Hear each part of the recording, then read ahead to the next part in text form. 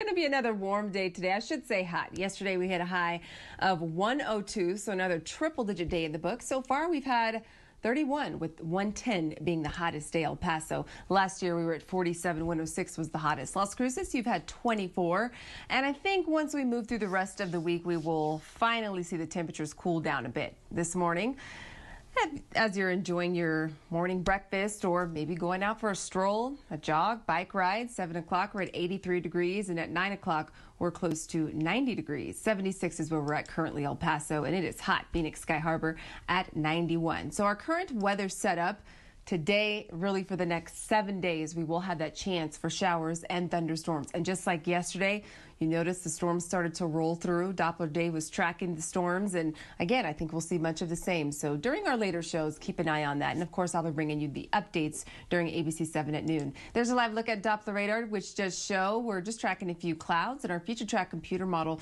Your morning drive will not consist of showers, thunderstorms, so you're in the clear through 8 o'clock. And then by 5 o'clock, you'll notice the storms start to roll in. They're going to hang around through 11 o'clock. Then we'll get a break Wednesday morning, just like what we saw this morning.